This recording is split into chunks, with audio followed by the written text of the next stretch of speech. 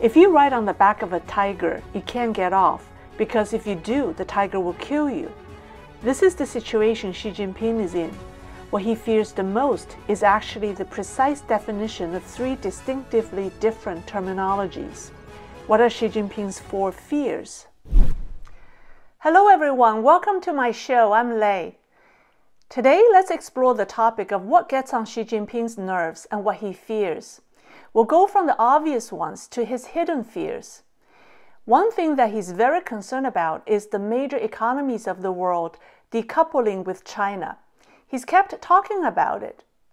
In January, at the World Economic Forum in Davos, Xi Jinping urged attendees to resist the effort by Americans and Europeans to decouple from China and said arrogant isolation will always fail.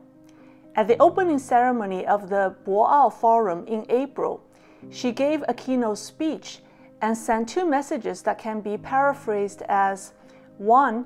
International affairs should not follow the lead of the United States and should be approved by China. And 2. No decoupling from China. This is the second time in a week that the top Chinese leaders cried, no decoupling publicly.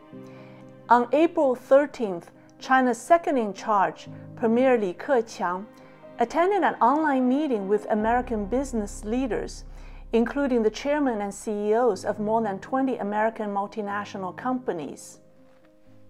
Li Keqiang urged American companies not to decouple from mainland China's economy. He said that decoupling is not good for anyone. On the same day, the National Development and Reform Commission also held a roundtable meeting with senior executives of American companies in China, including Tesla, Qualcomm, and Dell. The commission stated that it would unwaveringly open up the Chinese market. This is a rare move because the commission had never held similar talks before. Decoupling is a major fear looming over Xi Jinping's head. Decoupling means cutting the lifeline of the Chinese economy, and it deeply worries him. Another matter that definitely gets on his nerves is Taiwan and Hong Kong. In the past four decades, communist ideology has collapsed in mainland China. Even the communist leaders and officials don't believe in communism anymore. People question the legitimacy and capability of the Communist Party. This has brought an unprecedented crisis to the party. To cope with this crisis, the CCP has adopted a nationalist approach. That is, blaming outside anti China forces and rallying its people to solidify support for the regime in the name of countering external forces. This is the reason why Chinese nationalism has risen in the past two decades. Promoted by the authorities, nationalist sentiment has influenced public opinion. Many Chinese are looking at Hong Kong and Taiwan from a nationalistic perspective. As a result, Xi has to save face and cannot afford to compromise on Hong Kong and Taiwan. He has been involuntarily kidnapped by CCP's own strategy and is left with no room to maneuver. It's like the Chinese saying, riding on the back of a tiger and can't get off. If you get off, the tiger might kill you. And this is the situation Xi is in. His fear comes from the fact that, on the one hand, he must act tough to continue the nationalist rhetoric. He has to continue riding on the tiger. But on the other hand, he's not sure whether his rhetoric will go, how this strategy will end for him, as he doesn't know how to get off the tiger. There are two more things that Xi Jinping fears and they're both somewhat covert. Over the years, we've seen CCP terrorizing people in Tibet and Xinjiang. Most China experts have attributed the conflicts to ethnic or territorial issues. But the underlying reason for the conflicts is that the communist leaders are afraid of religious freedom. As soon as the CCP took power, it wiped out religion in China and replaced it with communist ideology, which ran like a religion. Chairman Mao was worshipped as a savior. His red book was studied like a Bible. There were morning and evening rituals which took cues from religious services and evening prayers. However, in Tibet and Xinjiang, religious beliefs are deeply rooted in the culture, and right from the beginning, the CCP has been unable to completely eliminate them.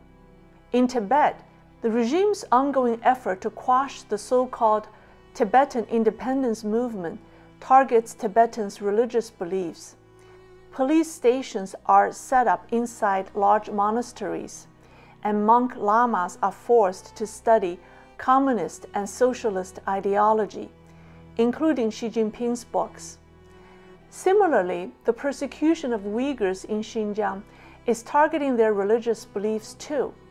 Various religious books are destroyed. Muslims are forced to drink alcohol and eat pork. At the core of the suppression of the people in Xinjiang and Tibet is religious persecution. The persecution of Falun Gong is another example. The Chinese government estimated at the end of the 1990s that between 70 million and 100 million Chinese were practicing Falun Gong. Since 1999, they're forced to give up the practice or face labor camps, imprisonment, and forced organ harvesting, according to investigations by an international tribunal based in London. We've also seen Christian churches demolished in China, underground church leaders arrested, and Chinese Catholics submit themselves to CCP supervision. Christian churches in China have been ordered to take down the Ten Commandments and replace them with quotes from Xi Jinping. Communist ideology clashes with traditional culture and faith. Religion's moral authority poses a serious threat to the regime's legitimacy.